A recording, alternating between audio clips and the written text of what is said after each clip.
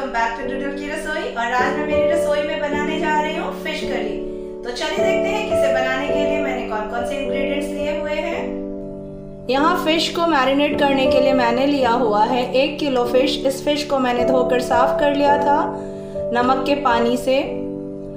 One tablespoon oil one tablespoon लाल मिर्च powder one teaspoon हल्दी powder salt as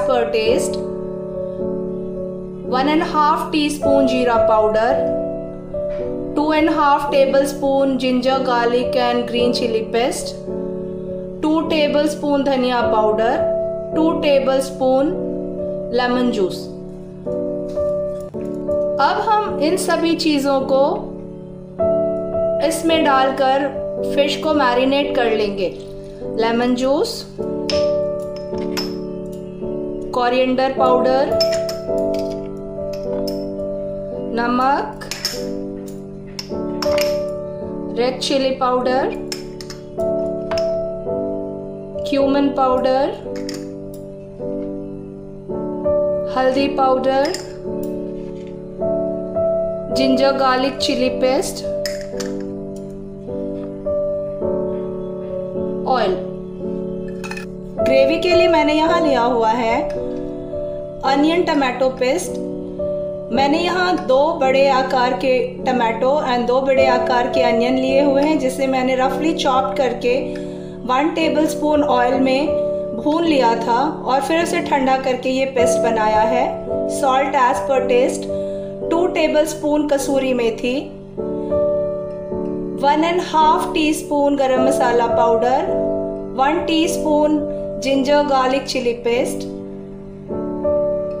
one teaspoon chilli powder two teaspoon chaat masala powder four tablespoon oil हाँ मैंने fish को marinate करके रख दिया है। अब हम इसे 15 से 20 मिनट के लिए ढक कर रख देते हैं और उसके बाद फ्राई कर लेंगे।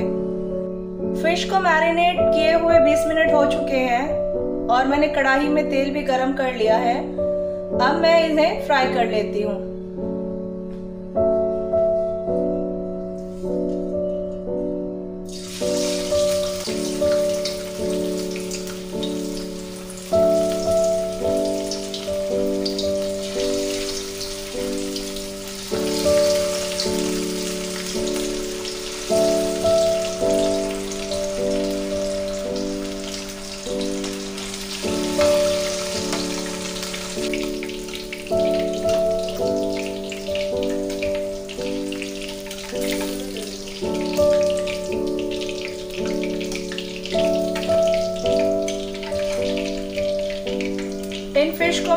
सुनहरा होने तक फ्राई करके एक प्लेट में निकाल लिया है।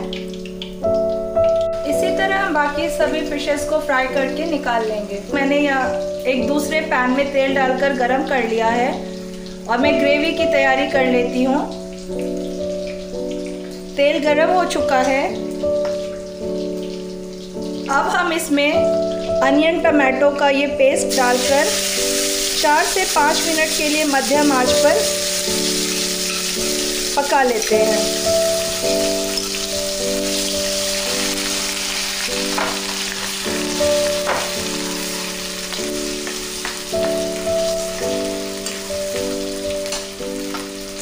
साथ ही साथ हम इसमें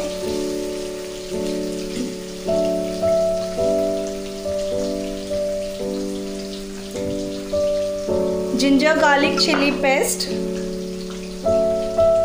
chilli powder garam masala powder और नमक। ये भी डालकर अच्छे से मिक्स कर लेते हैं। मसालों ने तेल छोड़ना स्टार्ट कर दिया है। अब हम इसमें थोड़ा सा हल्दी पाउडर डाल लेते हैं और दो मिनट चलाकर इसमें पानी डाल देते हैं। मसाले और प्याज टमाटर अच्छे से भून चुके थे, इसलिए मैंने इसमें गर्म पानी मिक्स कर दिया है। पानी में उबाल आ गया है। अब हम इसमें फ्राई किए हुए फ़िश को डाल लेते हैं।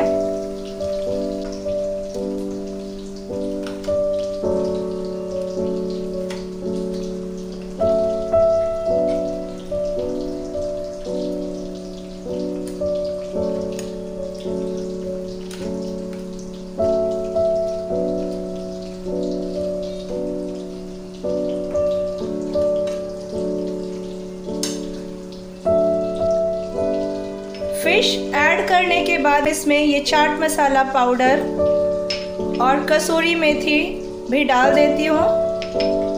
और वापस दो से तीन मिनट के लिए ढककर धीमी आँच पर पकने देती हूँ और फिर गैस बंद कर दूँगी। दो से तीन मिनट हो चुके हैं। अब मैं गैस बंद करके इस फ़िश ग्रेवी को एक बर्तन में निकाल कर सर्व कर लेती हूँ। आई होप आपको मेरी ये रेसिपी पसंद आई होगी और आप इसे एक बार अपनी रसोई में बनाने की ज़रूर कोशिश करोगे।